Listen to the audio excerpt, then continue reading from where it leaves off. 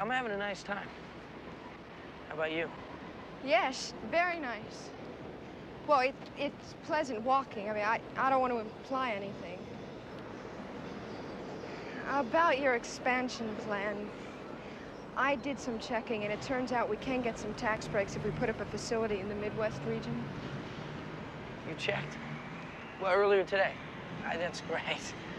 Well, the powers that be seem to want the cutting, but I, you know, I've been trying to stay open to your ideas, your business ideas. That's great.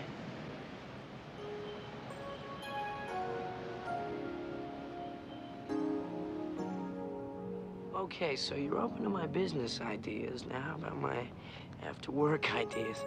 Don't push. Yesterday, I thought you were obnoxious. You know, a lot of people start out that way. They usually end up getting married. Don't hold your breath. Come on. Look, I think you're secretly crazy about me. And I think you'd feel a lot better if you just admit it. Come on, you like me. I'm an acquired taste.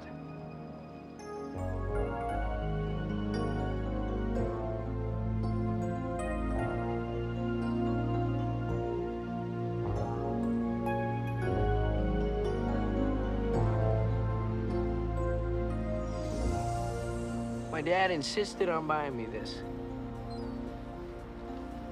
A round-trip ticket back to Kansas.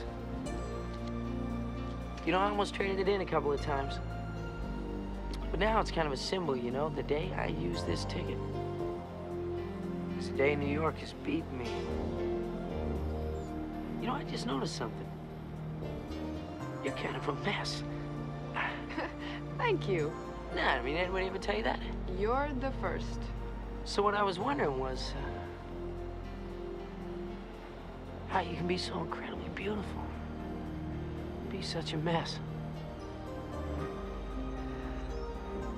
When two people get involved on a project together, there's a danger of getting emotionally involved. That would be bad. They confuse the intensity of their involvement on the project and mistake it as a relationship. Are you, a shrink? It, it's happened to me. It's actually still happening to me, I guess, and then the project ends and they find they don't have anything to talk about. Okay. Settle then. We won't get involved while we're working on this project. Right. Right.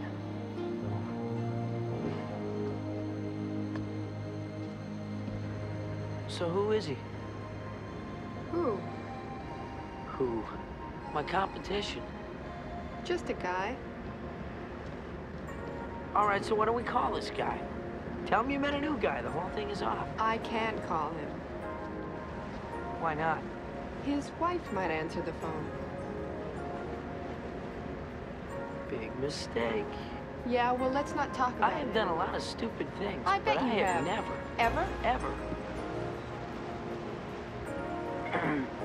been involved with a married man.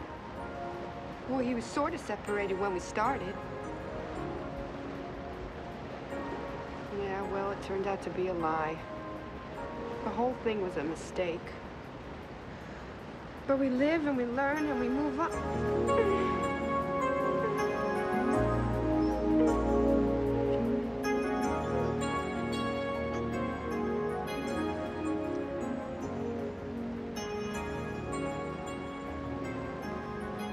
That wasn't bad.